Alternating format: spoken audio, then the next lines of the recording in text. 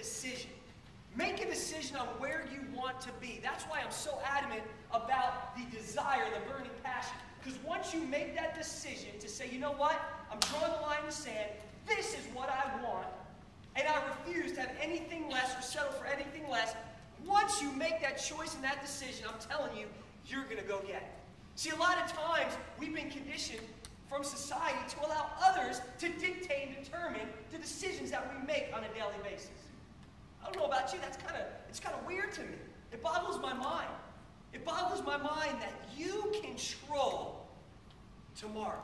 You control your future. If you don't like where you're at right now, any area of your life, there's only one person that can make the choice and the decision to change that, and that's you.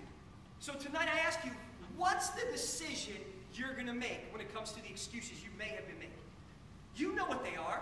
Some of you got one workout in. Why? I don't know. I don't live with you. We charge extra for that, but I can move in for the right fee. Yeah, you love it. You love it. Ask my wife. She loves it. That was your chance, honey. You're supposed to cheer real loud. Woo! so are you making the decision right now that you're going to stop making excuses because you want to feel better? Are you making the decision right now you're going to stop making excuses because you want to look better? Because you want to get off, get, get off the diabetes uh, medication? Are you making a decision right now that you just want to know what it feels like to walk in the store and shop at Dillard's or, the, or wherever it may be, department store, and fit into a size that you never fit in?